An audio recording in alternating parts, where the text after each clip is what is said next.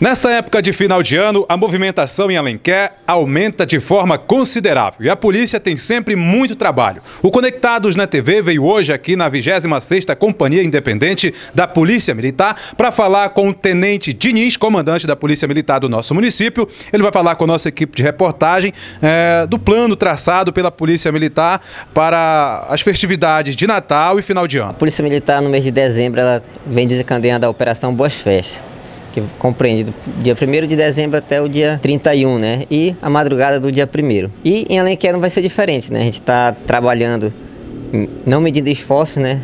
Principalmente nos finais de semana, onde as, a maioria das operações são desenvolvidas e já reforçando o policiamento a partir de quinta-feira, né? De quinta a domingo, Todos os finais de semana nosso efetivo ele, ele vem sendo reforçado. Estamos trabalhando também junto ao comando regional, né, para que eles nos disponibilizem pelo menos mais uma viatura para atender essa demanda de ocorrências que aumenta de forma considerável nesse período festivo, né, período de final de ano. Também a gente aproveita, né, para orientar as pessoas que não deixem suas residências Exatamente isso. Muita gente chega em Alenquer e muitas pessoas de Alenquer precisam viajar também, acabam deixando suas residências só. Muita gente chega, né? E gente que as pessoas não, não conhecem, né? Não, não, não conhece ainda, não sabe qual a procedência daquela pessoa.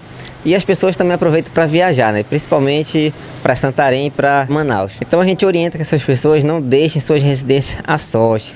Deixe um vizinho vigiando à noite, deixe um parente né, nessa residência durante esse período que que ela for ficar, que a família for viajar, né? Toda vez que a família viaja, deixa a residência muito tempo sozinha, as pessoas, né, que têm aquele intuito criminoso vão ter o seu interesse despertado. Então a gente orienta.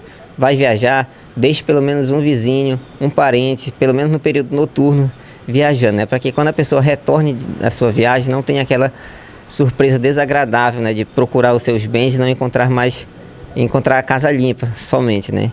E também durante é, o período noturno principalmente, não andem com o seu celular à mostra. Essa é uma época que os bandidos aproveitam para agir, na época de muita movimentação na cidade. Com certeza, a cidade está movimentada. É, a gente sabe que a maioria desses, desses roubos, principalmente a celulares, é para que eles comprem drogas, né, para saciar o seu vício. Então eles não têm a noção da, é, do perigo, né? As pessoas elas têm que, têm que se precaver, principalmente mulheres, mulheres e pessoas mais idosas, né? Vai andar na rua, não saque o seu celular e fique ostensivamente com ele à mostra, né? Deixe o seu celular para atender dentro da sua, da sua residência. Precisa fazer uma ligação, entre numa loja, numa farmácia e evite ser uma vítima desses criminosos. Tenente, a polícia trabalhando diuturnamente, combatendo a criminalidade e passando segurança para a população, principalmente agora na época de final de ano. É o nosso objetivo, né? A gente trabalha em prol da sociedade, né? É o nosso é o destinatário final do nosso serviço. Então, se se para a sociedade não tiver nenhuma ocorrência, não, não tiver nenhum crime, é, o nosso trabalho está sendo bem feito, porque a gente trabalha visando principalmente a prevenção, né? A nossa repressão ela é assim esporádica, não era para ocorrer, né?